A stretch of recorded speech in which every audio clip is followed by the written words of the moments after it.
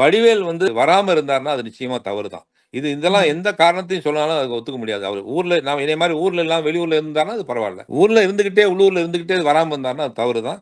அது மாரி யார் வராம இருந்தாங்களா எனக்கு தெரியாது. அது குறிப்பா வடிவேல் வந்து அவரால வளர்க்கப்பட்டவர். அவசியம் வந்திருக்கணும். என்ன காரணம் எனக்கு தெரியாது. எங்க ஊர்ல இருக்காரா? இல்லையா? எனக்கு எதுவுமே தெரியாது. வடிவேல் எனக்கு நண்பர் தான். அது ம். மாரி இருந்தாருன்னா, நானே கூப்பிட்டு ஏன்பா நீ போகாம இருக்க? போன்னு நானே சொல்லுவேன் உரிமையா. எனக்கு தெரியாது. என்ன நடந்திருக்குன்னு தெரியாது. அது வந்து.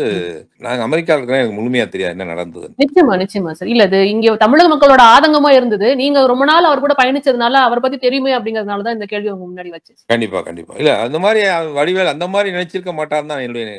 நினைக்கிறேன். ஏற்கனவே. எனக்கு 10, 15 நாளைக்கு முன்னாடியே, 1 மாசத்துக்கு முன்னாடியே வடிவேலு போய் அ வ விஜயகாந்த் அண்ணன போய் பார்த்த மாரி எனக்கு ஒரு செய்தி கேள்விப்பட்டேன். அது எந்த அளவுக்கு உண்மைன்னு எனக்கு தெரியும். இதெல்லாம் தாண்டி 2 பேருமே அரசியல் அதாவது 2005ல அவர் வந்து தன்னுடைய கட்சிய ஆரம்பிச்சாரு. நீங்க வந்து நீங்களும் அந்த டைம்ல வந்து எம்.எல்.ஏ இருக்கும்போது அவர். கட்சி ஆரம்பிச்சாரு. இருந்தீங்க. அந்த அந்த தேமுதிக கட்டடம் இப்ப இருக்கே, அது நான் எம்.எல்.ஏ இருக்கப்ப என் தொகுதி தான் அது. நான் வில்லிவாக்கம் தொகுதி. எம்.எல்.ஏ இருந்தேன். அப்பதான் அந்த கட்டடம் அந்த கட்டடம் கட்டப்பட்டது. ஸோ நெறைய நிகழ்வுகள் ம். அவரும் நானும் நெருங்கி பழகியிருக்கோம். நெறைய. பேசியிருக்கோம்.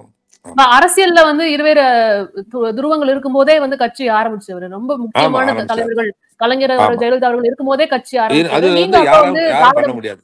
யாரும் பண்ண ஆ. முடியாது. யாருக்கும் அந்த. தைரியம் வராது. அவர்ட்ட வந்து ஒரு தன்னம்பிக்கை, விடாமுயற்சி, என்னால முடியுங்கிற ஒரு அந்த கான்ஃபிடென்ட்ல தான் அவர் இறங்குனாரு.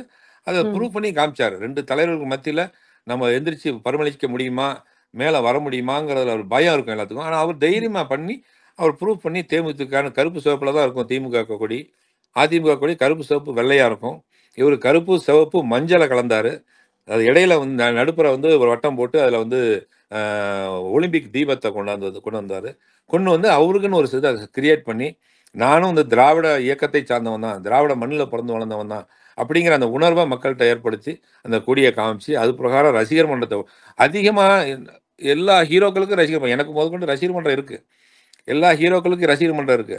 ஆனா விஜயகாந்த் சாருக்கு இருந்த ரசிகர் மன்றம் மாரி வேற யாருக்கும் கிடையாது.